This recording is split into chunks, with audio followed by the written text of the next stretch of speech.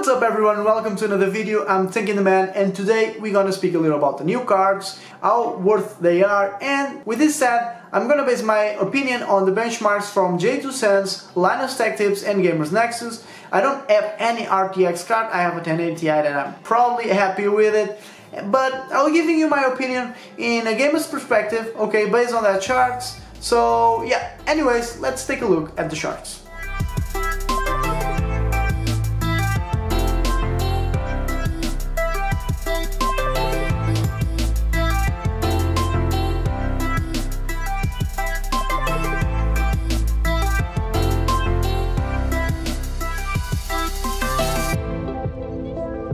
So, now that you saw the charts, what is the conclusion to take from these new cards? It's pretty obvious that today we have a new King of the Castle. The 2080 Ti, it's definitely the best card, the fastest card. The card can run almost all games at 60 FPS, 4K, but that doesn't mean you should go and buy it right now. Because if you compare to the previous gen, you know the 1080 Ti, the price it's almost the double. For something that it's right now at this point it's not even working. So if you want to go and grab that card, make sure you know that right now I don't have any benchmark showing you the performance of ray tracing so it seems a bit unjustified to go and buy that card for almost to double the price of the 1080 Ti when it was launched. I mean, it could be game changer, but right now it seems to be a little rushed and pointless.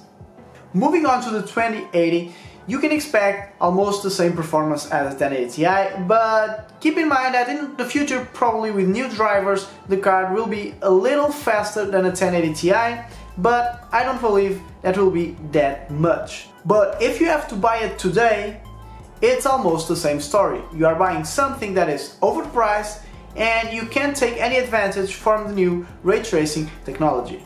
So, where do we stand at this point? It's complicated and I'm a little disappointed with this.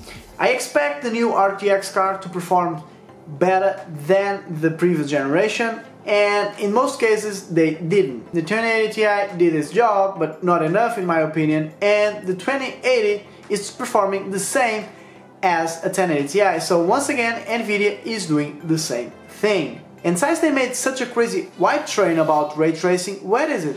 Reviews didn't have the chance to test it in time, in the, you know, today, so it's still a bit confusing for me to recommend you something that is overpriced and at the same time lacks a lot of feature that Nvidia promised and didn't deliver. Should you buy it? Of course no.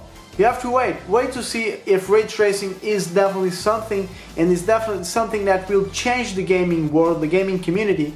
But until you don't have any information, any benchmark, any FPS, you know, anything that you can, you know, take some information from that, you definitely should wait and see if ray tracing is definitely something to go for.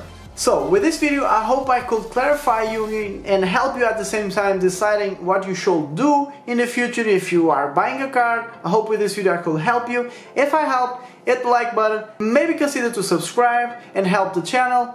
You know, follow me on Facebook, follow me on Instagram. I'm Tankian the Man and as always, I see you on the next one.